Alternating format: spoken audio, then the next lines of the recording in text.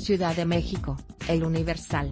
Guión luego del accidentado segundo día del Festival de Rock y Metal Force Fest, y tras las cancelaciones de último minuto de varias bandas incluidas Headliners, no se hicieron esperar las quejas, y molestias de quienes adquirieron entradas para el evento, montado este fin de semana en Teotihuacán. En redes sociales usuarios exigían a los organizadores del festival reembolso de sus entradas, ya que bandas importantes como Rob Zombie o of God anunciadas para el escenario principal cancelaron, esto en parte a situaciones de logística. En la cuenta oficial del Force Fest en Twitter usuarios comentaban sobre la mala organización del evento, entre sus molestias destacaban el largo tiempo de espera para entrar y salir del festival, falta de seguridad, el lodo que se hizo en el campo de gol como sede, los autos que se quedaban atascados, así como el cierre de food trucks. Hasta ahora, organizadores del evento no han respondido a los señalamientos por parte de los asistentes quienes en algunos casos amagaron con presentar sus denuncias ante la Procuraduría Federal del Consumidor, Profeco.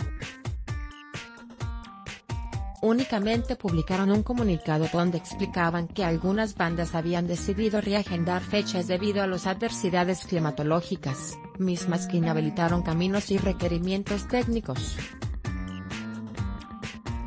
Lamentamos los inconvenientes que esto les pudiera ocasionar cerraba entonces el aviso. Incluso, algunos asistentes al Force Fest publicaron una petición en la página de Change.org en la cual realizan una denuncia masiva por fraude e incumplimiento de contrato, misma que hasta el momento ha recabado más de mil firmas. Algunas irregularidades presentadas en la petición son la falta de pago, y el presunto incumplimiento de contrato por bandas de talla internacional, las cuales ya se sabía que cancelarían y sin embargo, no hubo aviso por parte de los organizadores. Entre otras irregularidades que enlistaron los quejosos destacan, falta de personal de seguridad y limpieza, problemas con el sistema cashless, estafas en los tours oficiales, así como las fallas en la transmisión del evento a través de Gel Televisión, medio oficial de Live Talent.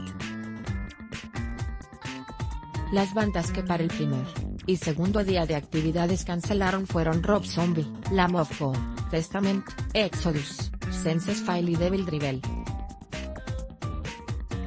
Algunos de ellos lamentaron en sus cuentas oficiales de Twitter la suspensión de sus respectivos espectáculos, argumentando la falta de condiciones adecuadas. Por si fuera poco, hubo un problema con dos de los artistas que quedaban, Slayer y Danzig, Así lo explicó en Facebook el medio especializado Summa Inferno, la banda está en México y estaba lista para tocar en Almohadilla Force Fest 2018. Sin embargo, Slayer decidió de manera unilateral que no dejarían tocar a la banda porque ellos querían tocar primero, a pesar de que Danzig tenía un vuelo al que debía llegar. El perfil musical del concierto era rock, en específico grunge, hard rock y thrash metal. La mala organización de la Almohadilla Force Fest les dio una mala noche a los que dejaron su auto en el estacionamiento de la locación.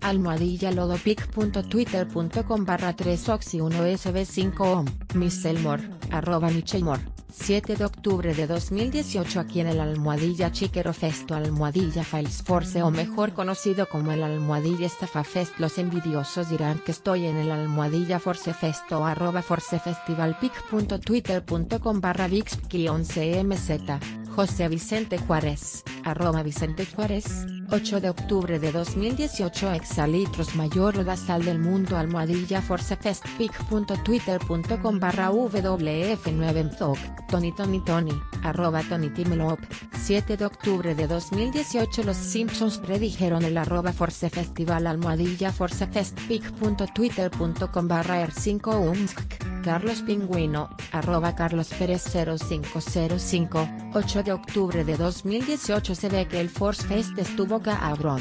pic.twitter.com barra x9hr7xck, Anomaliza, arroba Burning, 8 de octubre de 2018 así todos anoche intentando salir de la almohadilla Force Fest pic.twitter.com barra 8cnp de 7 ju. Doctor Patita, arroba Dara. Moore, 8 de octubre de 2018.